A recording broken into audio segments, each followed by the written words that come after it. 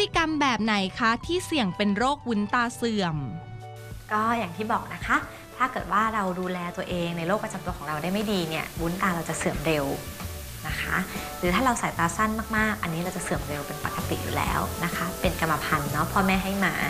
นะคะอ่าอันที่สามก็คือสูบบุหรี่ ถ้าเราสูบบุหรี่เยอะอันนี้ก็จะเสื่อมเร็ว แล้วก็หลีกเลี่ยงก็คือสูบบุหรี่ให้น้อยลง โรควุ้นตาเสื่อมรักษาอย่างไรคะอ่าถ้าเราเป็นวุ้นตาเสื่อมนะคะ ตอนนี้ยังไม่ต้องรักษาหากเป็นวุ้นตาเสื่อมเท่านั้นนะคะ ถ้าตรวจแล้วเราก็สังเกตอาการต่อไปอยู่กับวุ้นตาเสื่อมของเราต่อไป บางวันยุงก็มาบางวันยุงก็ไปนะคะ แต่ถ้าเกิดว่ามีจอบตาฉีกขาดหรือหลุดลอกเนี่ยเราก็ค่อยรักษาด้วยการเลเซอร์ หรือผ่าตัด ก็โรคนี้จริงๆเป็นกันทุกคนนะคะ ไม่ต้องตกใจเป็นโรคที่คนส่วนใหญ่เนี่ยมาหาหมอเลยมาหาหมอตา ซึ่งเป็นเรื่องที่ดีแล้วนะคะ เพราะว่า อาอาการเนี้ยมันอาจจะมีโรคร้ายซ่อนอยู่ แต่ถ้าเกิดว่าตรวจแล้วไม่มีโรคร้ายซ่อนอยู่ ก็สบายใจได้ว่าโอเคนะเราเป็นแค่วุ้นตาเสื่อมเราก็เฝ้าสังเกตอาการต่อไป อาจจะตรวจทุกปีปีละครั้ง